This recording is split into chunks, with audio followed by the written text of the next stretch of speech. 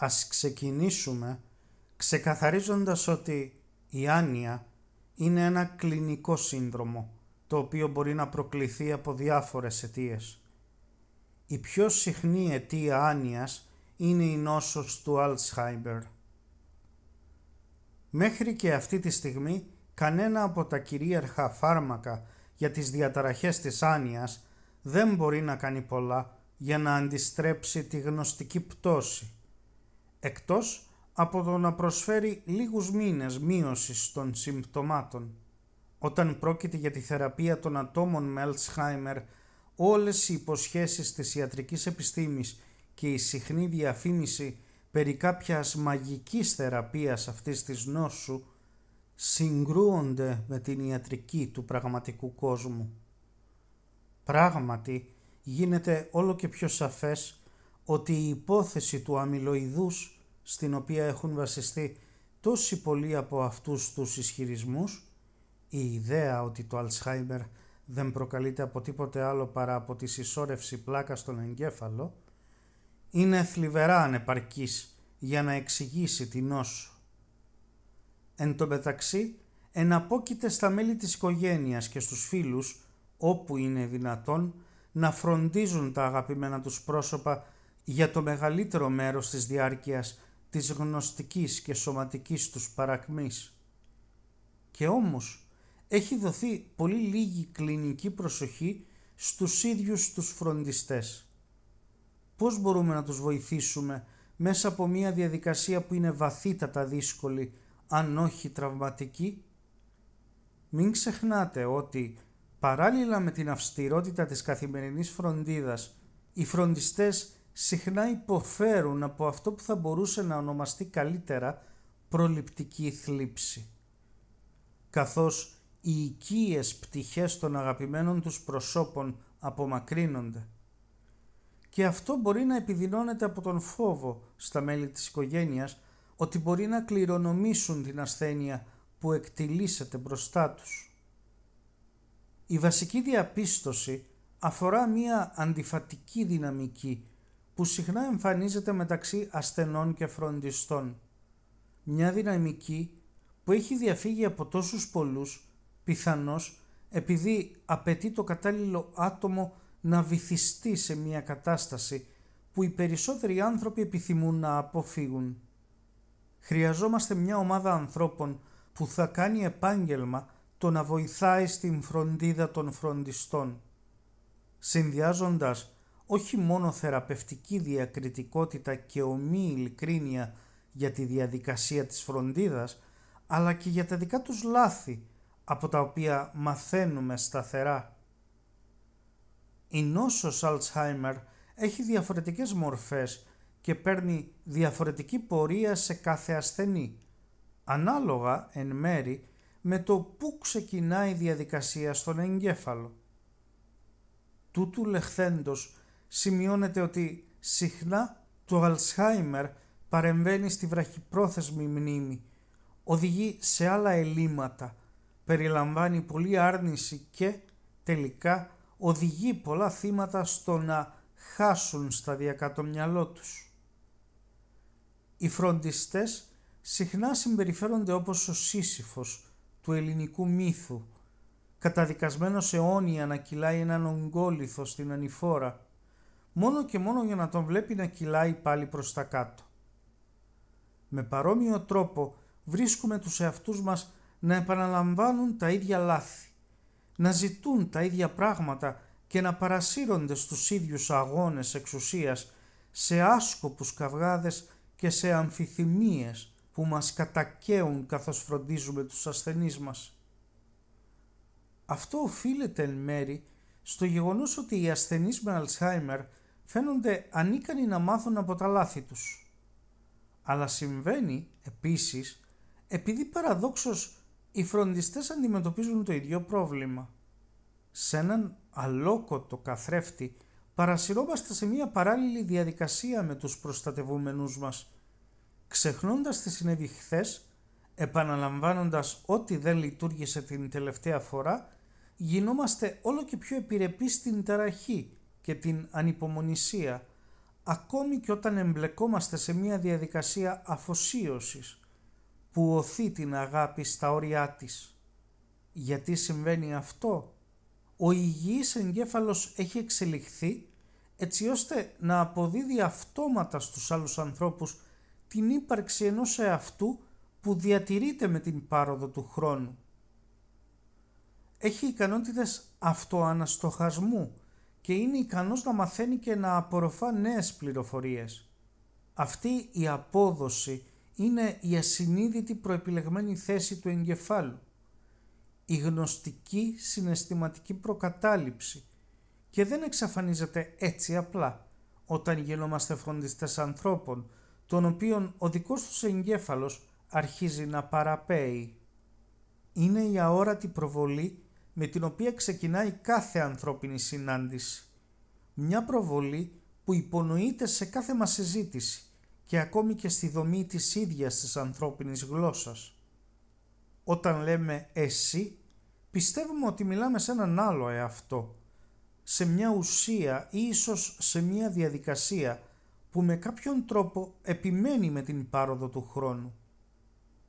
Αλλά αυτός ο εαυτός και η συνέχεια που συνεπάγεται εξαρτάται από την ικανότητα της μνήμης να συνδέει τις διαφορετικές νοητικές μας καταστάσεις.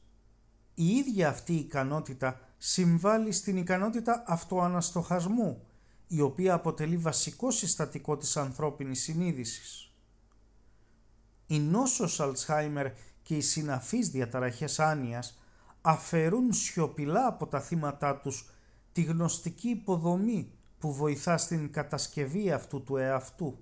Η απώλεια του εαυτού που περιγράφεται στη βιβλιογραφία για την όσο Αλσχάιμερ μπορεί να συμβεί αργά, σε ορισμένες περιπτώσεις πάνω από μία δεκαετία και μπορεί να είναι αρκετά ύπουλη ώστε ούτε το θύμα, και αυτό είναι το σημείο κλειδί, ούτε ο φροντιστής να εκτιμούν την πλήρη έκτασή της. Παρά το Αλσχάιμερ, το άτομο παραμένει μπροστά μας με τη συνήθη μορφή και εμφάνισή του, επιδεικνύοντας τις ίδιες εκφράσεις, μεταφέροντας τον ίδιο ήχο στη φωνή του, προκαλώντας μας χιλιάδες οικίες αναμνήσεις και συναισθηματικούς συνειρμούς. Υπάρχουν καλύτερες και χειρότερες μέρες και μερικές φορές ο παλιός εαυτός φαίνεται να επιστρέφει με ισχυρή θέληση, άθικτη, ένα βιώσιμο ομοίωμα αυτού που ήταν κάποτε. Είναι σαφές ότι υπάρχει ένα πρόσωπο εκεί. Ωστόσο, καθώς η ασθένεια προχωράει, μπορεί να φτάσουμε να βλέπουμε μόνο το κέλυφος ή τον φλοιό του εαυτού που κάποτε γνωρίζαμε. Αλλά αυτή η νέα κατανόηση δεν μας εμποδίζει να προβάλλουμε έναν συνεχή εαυτό, επειδή αυτή είναι η προεπιλεγμένη θέση του εγκεφάλου. Δηλαδή, δεν μπορούμε να μην δούμε αυτό που υπήρχε κάποτε. Αυτή η λαμπρή διαπίστωση είναι το σημείο εισόδου στη μέχρι τώρα δύσκολα να φανταστεί κανείς χώρα που συνεχίζει να περιγράφει. Συχνά λέμε για τους ανθρώπους που βρίσκονται σε αυτό το δίλημα, γνωρίζοντας ότι ο εαυτός του αγαπημένου τους προσώπου είναι μειωμένος αλλά συνεχίζοντας να τον βλέπουν ως ολόκληρο, ότι βρίσκονται σε άρνηση. Σαν να επρόκειτο απλώς για έναν αμυντικό μηχανισμό σε λειτουργία. Αυτό είναι μια λανθασμένη εφαρμογή του πολύτιμου όρου άρνηση. Ναι, μπορεί να υπάρχει άρνηση, όμως όσοι παγιδεύονται στη συσήφια περιπλοκή δεν αρνούνται απλώς ότι τα αγαπημένα τους πρόσωπα είναι άρρωστα. Άλλωστε, αυτοί είναι που αποδέχονται την αναπηρία και προσπαθούν να βοηθήσουν.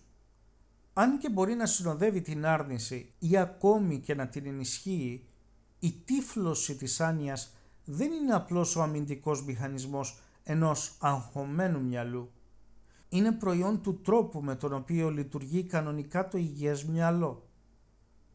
Μέχρι τώρα είμαστε αναγκασμένοι να συναρμολογήσουμε την εικόνα μας για το πώς είναι να έχεις Αλτσχάιμερ, υποκειμενικά. Δεν έχουμε έναν ιδανικό οδηγό.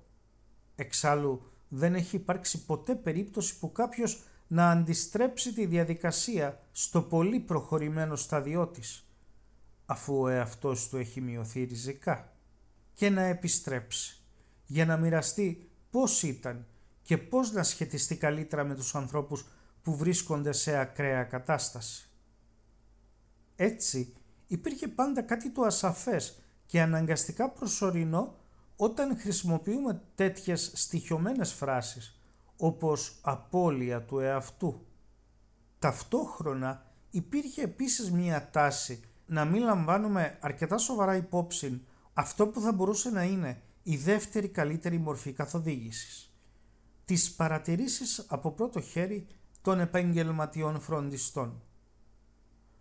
Αυτό οφείλεται στο γεγονός ότι πολύ συχνά υποβιβάζονται στα κατώτερα σκαλοπάτια της ιεραρχίας της υγειονομικής περίθαλψης από ένα ιατρικό σύστημα και ένα πνεύμα της εποχής, το οποίο συχνά κοιτάζει και ακούει μόνο εκείνους που υπόσχονται θεραπείες σε εισαγωγικά, πιστεύοντας ότι τίποτα λιγότερο δεν αρκεί.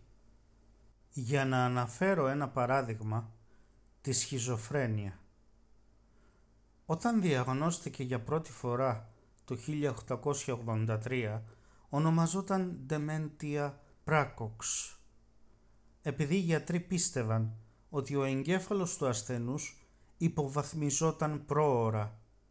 Ωστόσο, όταν οι περισσότεροι από εμάς σκεφτόμαστε τη σχιζοφρένεια, τίνουμε να συνδέουμε την ασθένεια με τα πιο εμφανή συμπτώματά της, όπως οι παρεστήσεις και οι ψευδεστήσεις. Όμως, στην πραγματικότητα, συχνά υπάρχουν και άλλα λιγότερο εμφανή ή θορυβόδη σε εισαγωγικά συμπτώματα, όπως η γνωστική έκπτωση, εξού και η αρχική ονομασία. Όπως συμβαίνει και με τις διαταραχές άνοιας, τέτοιες αλλαγές στην αποδομή του εαυτού μπορεί να μην εντοπίζονται από τον ίδιο τον ασθενή ή να μην γίνονται σαφώς αντιληπτές από τον φροντιστή. Τα άτομα που φροντίζουν όσους πάσχουν από σχιζοφρένεια μπορεί να δυσκολεύονται πολύ να δουν την έκταση στην οποία η ασθένεια έχει αλλάξει τους αγαπημένους τους. Και πάλι, αυτό συνήθως αποδίδεται ως άρνηση. Αλλά ενώ η άρνηση μπορεί να είναι λειτουργική, πρέπει να αναρωτηθούμε αν αυτό το συγκεκριμένο τυφλό σημείο δεν είναι επίσης προϊόν της λειτουργίας του μυαλού του φροντιστή, που προβάλλει στο αγαπημένο του πρόσωπο εξορισμού την ίδια εμπειρία του εαυτού του που είχε πριν από την εμφάνιση της ασθένειας. Αυτό δεν σημαίνει ότι η σχιζοφρένεια είναι το ίδιο με την όσο Αλσχάιμερ. Φυσικά και δεν είναι. Και ευτυχώς έχει καλύτερη πρόγνωση και καλύτερη θεραπεία. Αλλά η διορατικότητά μας σχετικά με τις αιτίες της τυφλότητας της άνοιας μπορεί να είναι σχετική σε τροποποιημένη μορφή με αυτή και με άλλες νευρολογικές και ψυχιατρικές παθήσεις.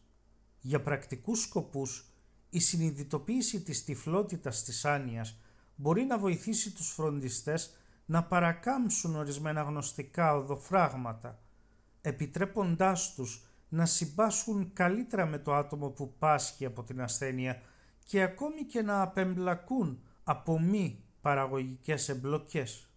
Χρησιμοποιούμε εδώ τη λέξη άτομο σε διάκριση από τον εαυτό, επειδή πρέπει να σεβόμαστε την αξιοπρέπεια του ατόμου. Να μένουμε μακριά από τη χρησιμοποίηση της οπτικής, της απώλειας του εαυτού, ως έναν τρόπο για να αποανθρωποποιήσει τον ασθενή. Φιλοδοξούμε σε μία πιο ανθρώπινη προσέγγιση της γνωστικής κατάστασης του ασθενούς, στην οποία η μείωση του εαυτού μπορεί να συγκαλύπτεται από τις προκαταλήψεις και τις διαισθήσεις του ίδιου του φροντιστή. Αν διαφαίνεται μια πάλι με το πιο όρος, παρένθεση, πρόσωπο, εαυτός, ασθενής, κλείσιμο παρένθεσης. Περιγράφει καλύτερα τους ανθρώπους με σοβαρή γνωστική έκπτωση. Είναι επειδή οφείλουμε να ανοίξουμε νέα εδάφη, για τα οποία δεν έχουμε ακόμη το κατάλληλο λεξιλόγιο ή τις κατάλληλες έννοιες, είτε ψυχολογικές, νευρολογικές, νομικές, είτε στην καθομιλουμένη, που μπορούν να μας βοηθήσουν να σκεφτούμε για τους ανθρώπους που προοδευτικά εκδηλώνουν έλλειψη συνέχειας του εαυτού. Αναμφίβολα, αυτή η απουσία λεξιλογίου έχει δυσκολέψει τη σκέψη των επιπτώσεων της τύφλωσης της άνοιας στην κοινωνία, στο σύνολό της. Αλλά, εν τω μεταξύ, πιο σημαντικό από το να βρούμε τη σωστή λέξη είναι να βρούμε τον σωστό οδηγό, έναν τρόπο ικανό να μας οδηγήσει, αν όχι εντελώς μέσα, σε αυτή τη συχνά αδιανόητη γη. Να μάθουμε την παραδοξότητα και τις παγίδες της. Μια παλιά σοφή ιατρική παροιμία, κατάλληλη για την ιατρική του πραγματικού κόσμου, είναι η εξής. Να θεραπεύεις μερικές φορές, να ανακουφίζεις συχνά, να παρηγορείς πάντα. Πιστεύω ότι οφείλουμε να ανακουφίσουμε και να παρηγορήσουμε, ξεκαθαρίζοντας τη σχέση φροντιστή-ασθενή για πολλούς βασανισμένους, μπερδεμένους, γεμάτους ενοχές, αυτοεπιτιθέμενους φροντιστές. Η νόσος Αλτσχάιμερ, όπως και κάθε άλλου είδους σοβαρή ασθένεια, μας υπενθυμίζει τη δική μας θνητότητα, ενώ παράλληλα ανακοινεί πολλά άλλη τα ζητήματα με το άτομο που φροντίζουμε. Οι ψυχολογικά οξυντερκείς παρατηρήσεις εμβαθύνουν στην κατανόηση του γιατί συμβαίνουν τόσες πολλές δύσκολες συναντήσεις μεταξύ φροντιστή και ασθενούς. Γιατί μας προκαλούν πόνο και τι μπορεί να αποκομίσουμε ευεργετικά από αυτές. Πρέπει να συνοδεύσουμε τους φροντιστές καθώς αγωνίζονται να αποδεχτούν, να αναγνωρίσουν, να αντιμετωπίσουν και τελικά να επιβιώσουν από την απώλεια κάποιου που αγαπούν.